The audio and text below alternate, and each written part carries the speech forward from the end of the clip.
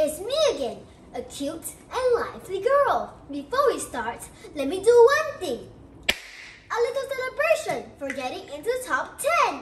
Yeah! Thanks to all the judges and, of course, my parents' support.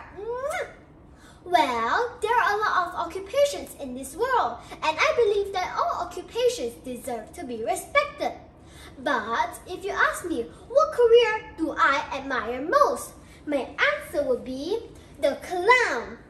Most people will assume that being a clown is what we call no future. But in my opinion, it's an extraordinary job. They give us so many happiness, isn't it?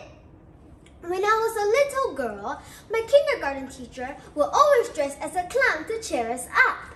A rainbow armor wig, a big red nose, a white smile with huge red lips, and a set of rainbow clothing. it was so cute.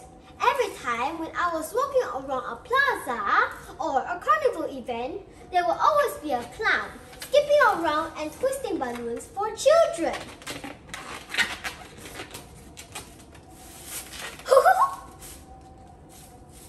and some of them even know how to perform magic tricks.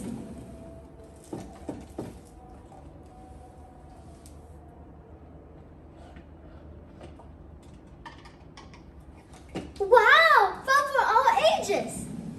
But did you know that even when they're ridiculed or laughed at, they still stood fast to their mission to bring happiness to others? Regardless, all occupations deserve to be respected and commended. Love what you do and remember to give back society when you can and with what you have. Thank you.